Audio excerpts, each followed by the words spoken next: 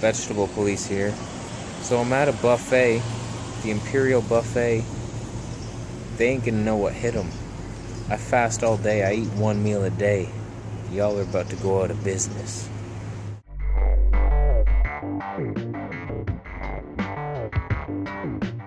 So I was forced at gunpoint to carb the fuck up, as the only fatty vegan option were the saltiest olives on earth. So I got a mountain of cantaloupes and watermelon. The cantaloupe was really enjoyable. I almost went back for seconds, but then I thought, screw that. I'm here to have some fun, and fruit isn't fun. When you're vegan at a buffet, you have to strategize. Before even getting my fruit plate, I took all the cucumber sushi rolls, because it's the only vegan roll they have.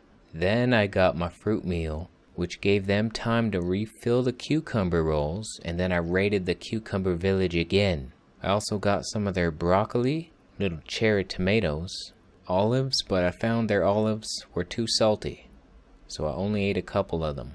I got a tiny bit of cabbage salad because my girlfriend got some and it looked yummy. I had to know what that was all about. I usually don't get this ginger because it's full of food colorings and preservatives, but I just figured this was a cheat night and the ginger would help me digest everything, so it also had a fun factor of 11, so I, I just went ahead and did it. They ran out of cucumber sushi. They could not keep up with my demands, and I sacrificed their firstborn virgin daughter to the cucumber gods and then went on to gather more food. This was a simple plate of steamed rice and bunch of stir-fried veggies. I ate everything but a few pieces of broccoli and cauliflower as my stomach was just about to explode and I could not fit in any more. I ate as much as I could that night, and I regret nothing. I also took pictures of my girlfriend's meals. They're so tiny and cute compared to mine. She got some corn on the cob, little bit of veggie fried rice, green beans, cabbage salad, and some leafy greens. So cute. Her second plate, she gorged on white rice, the likes of which have never been seen before. I actually had to pull her aside and say, Listen, hun, I know you're hungry, but that's just too much rice for one human being. You're not a sumo wrestler. Let's dial it down a notch and be civilized here. But she didn't listen. They had to ship more rice from China just to accommodate her uncontrolled gluttony. It was embarrassing. Her next plate, we actually had to call in the obesity ward psychiatrist because I was worried. I mean, she ate that entire piece of broccoli like it was candy, like it was a game to her. The roasted eggplant in the background was eaten with no remorse. Same with the sesame ball. She has a problem. Please help us. I actually encouraged her to eat more. She didn't quite look satisfied. I knew she wasn't. And she often doesn't eat enough here and then she'll be hungry later. So she got some more eggplant, another sesame ball, and some mystery desserts. So that was our buffet night. And I suppose you're wondering what did it feel like to carb the F up when I've been on this high fat diet for so long? I did not feel better. So that was kind of a relief. I was kind of wondering like if I carb up, am I going to feel like amazing like I was missing something? That was not the case. I actually felt worse just because of all the preservatives and who knows what's in that broccoli. Oh, I love that broccoli.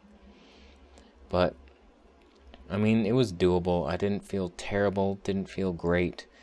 Wasn't an improvement, but I mean, I wish they had more high fat options. The only fatty foods are meat, grilled freaking animals. So, terrible.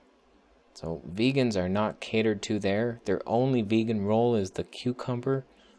I actually end up poking the cucumber out. It's taking up valuable real estate in the gut. So, ain't nobody got time for that shit. So that was it. That was my cheat night. It's always fun to go there and eat all I can eat. I did notice my enthusiasm just getting lower and lower the more I ate. Like it was so exciting during the fruit and yeah, the sushi was like, yeah, this is so fun. I love this. And then it's like, I'm just a gluttonous pig. I'm tired. Why am I doing this? So, that's what happens at an all you can eat buffet. We go through some mental breakdowns, and what can we do? So, that was it. That is it for today. Thanks for watching. Thumbs up if you liked the video. Subscribe for more videos, and I'll see you in the next one. Help me, Lord Cunningham. I feel so terrible. I'm so weak, nauseous, tired, delirious. What have I done? Why does my hair do these things? What is this? Should I do that? What's wrong with me? So, yeah, I've just been laying here wondering why. Why have I done this to myself?